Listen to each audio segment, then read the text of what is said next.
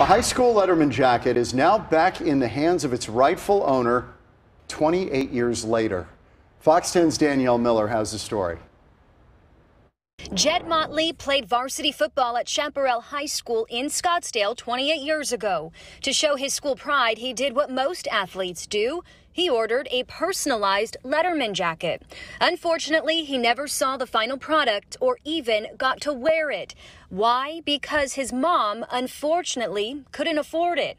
Fast forward all these years later, Jed is wearing his coat. By a stroke of fate, his brother Josh recently found the jacket at a thrift store in Pinetop, now decades later. The price just $25, much cheaper than its original price of $300. Jed says the shop's owner in Mesa passed away and several Letterman jackets were randomly donated to a secondhand store near Pinetop where his brother now lives. He goes, Is there any chance I'm looking at your Letterman's jacket right now? I go, not sure if you remember, but mom couldn't afford to pick it up.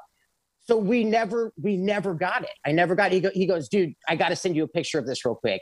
He sends me the picture, and I knew immediately that was my jacket. I went down there and designed it.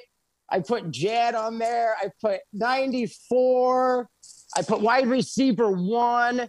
Jed says since he's found his jacket, he can't stop wearing it. All these memories started flooding back. I mean, that, I went through blood, sweat, and tears to earn that letter. And I wanted my jacket. I thought about it over the years, but we had kind of a rough childhood. So it was just another speed bump that I had to get over. Jed's mom passed away nine years ago. He said he wouldn't be surprised if she had something to do with this sweet reunion. And she would just be over the moon about this right now. Danielle Miller, Fox 10 News.